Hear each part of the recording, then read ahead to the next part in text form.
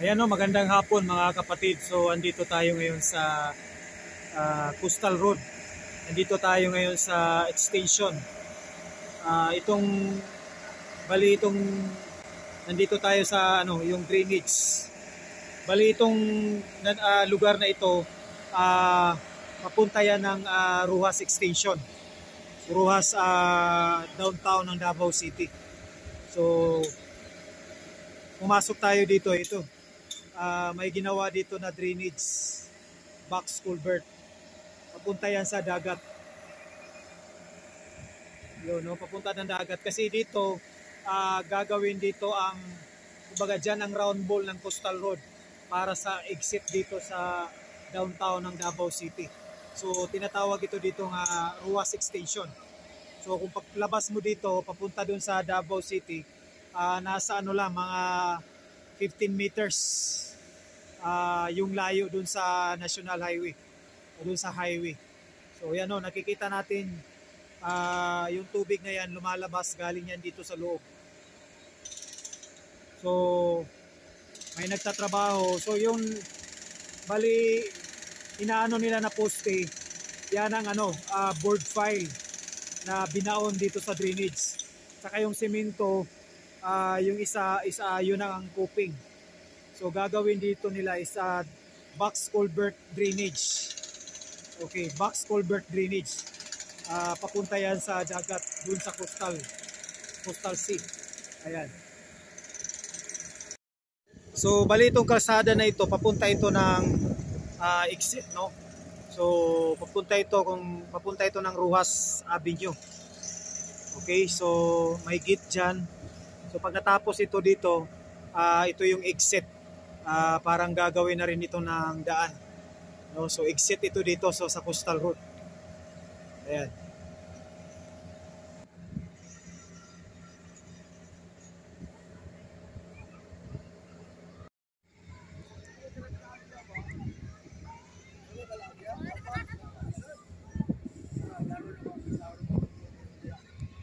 So bali ito yung natapos na. So ito na yung ah, kakalabasan nito. So yan oh, nakita natin yan. Papunta yan ng ah, dagat. Bali may tulay dyan o may drainage din na box culvert. Ginawa dyan sa unahan. Ayan. So ito natapos natapos na ito. Ito yung box culvert nila no. So ito na yung ah, kakalabasan no. Bali ito yung box culvert. Ayan o, nakikita natin. So malalim to dito. Ayan. So talagang ah, matibay siya pagkagawa.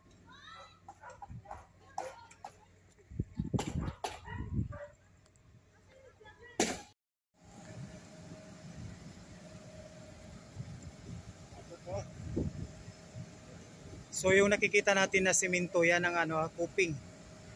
Ah So nandito sila sa baba no, ah, inaano pa nila. Bali inaano pa nila ng ano dito. Baga yung coping. Yung coping kasi ah, yung board file kasi ah, may mga binao na diyan. So board file para talagang ano. So lalagyan niya ng coping. Ah, titingnan natin kung paano ang ano nito yung construction nito. Basta sa ngayon ito yung nakikita natin. At saka yung ah, nandun yung ano, yung box culvert. Box culvert. Bali ito yung ano, bali ito yung ah, box culvert no na ilalagay doon doon sa drainage na yon. Ayan. Box culvert. So ito. Yan o, box culvert. Yan ang mga box culvert. Ayan.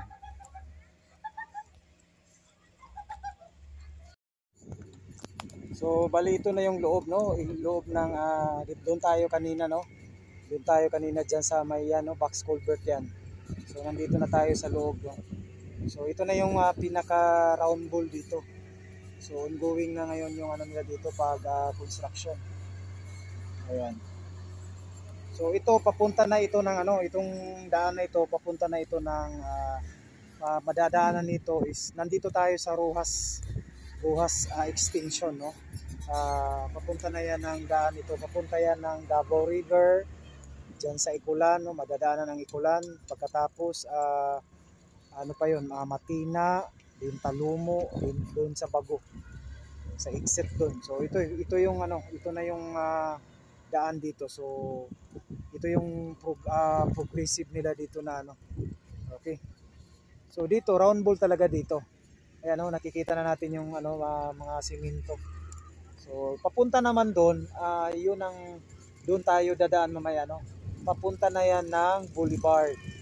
Pagkatapos ng Boulevard, malalama trading, Boulevard, Bukana, Yapi, yun madadaanan diyan no.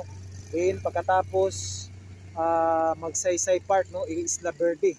Isla Verde, Magsaysay Park no, harap ng Magsaysay Park. So bridge na yan mamaya makikita natin. Then tatawid doon sa Santa Ana Wharf. Pagkatapos Leon Garcia, then Agdao, Leon Garcia, Agdao, tapos papunta tayo ng Arcastillo. Ayan. Bali dito pala, ah, ano pala ito no? Ah, sako pa rin ito ng ah, ah, Boulevard Trading. No? So yan no, ba, ma- para maintindihan natin. Bali ito dito, round ball ito. So kung lalabas ka dyan sa may exit dyan, exit kasi dyan, Rojas extension yan, no? Papunta doon sa Rojas Avenue. So papunta naman doon, doon ang barangay ah, sa Boulevard pa rin yan, no? Kasi di, 21 at saka 31. Okay, so ah, Boulevard yan, no? 21, 31. Tapos pagkatapos noon, ah, may tulay doon, no? After sa Boulevard, ah, Isla Verde, Magsaysay. So may tulay dyan, no? Ah, harap dyan na Magsaysay Park. So tulay natatapos na yung sa may ah, Isla Verde, mapuntahan natin mamaya. Pagkatapos, ah, yung ginagawa ngayong ah, tulay, ongoing ngayon, no? Ah, dyan sa may ah, Santa Ana Wharf. So wala pa yan tulay, kumbaga poste pa lang yan, ah, puting pa lang, no?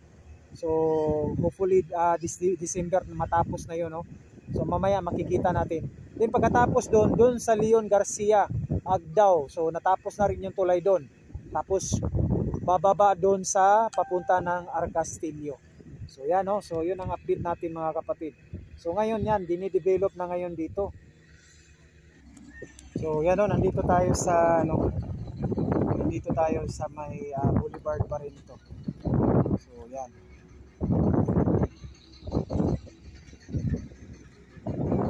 Bali kanina nandun tayo no. So kanina nandun tayo ah doon sa Rojas Extension. So dito ah, may tulay dito no. Ayan, may ginagawang tulay dito.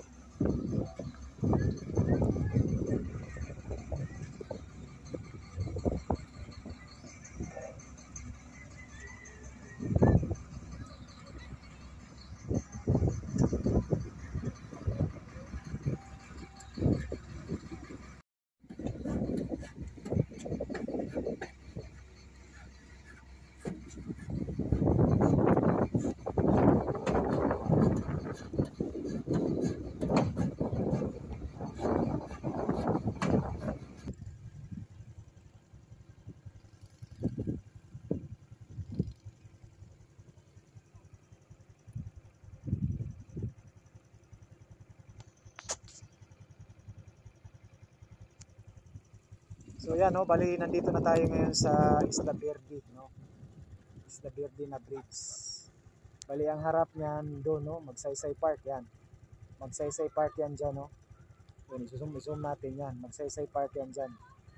Kumbaga pasyalanan no sa Davao City. So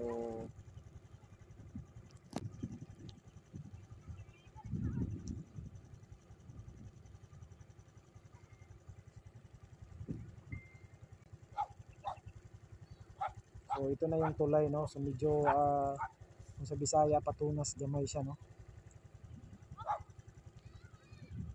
Ayan no, Magsaysay Park. Bali yung nakapokus diyan Magsaysay Park yan ha. So dito bali 31 na pala ito Boulevard Trading. Galing tayo diyan sa may ano Galing tayo doon, uh, nakurbada tayo doon sa may may tao na nakaupo uh, bali 31 ito sakop ito ng Boulevard 31 okay.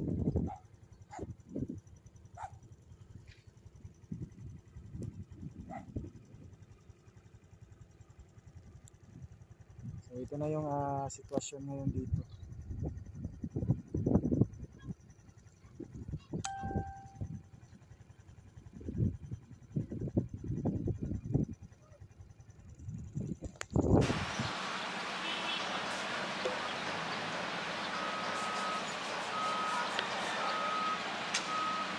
So ito yung sinabi ko kanina na ano ah, Santa Ana Wharf. So bali itong ikalimang ah, girder, il- ikalimang column no. So may na may, may tinayo na na ah, column o poste no bakal. So yan no connection na dito sa ano dito sa papunta yan ng ah, Leon Garcia.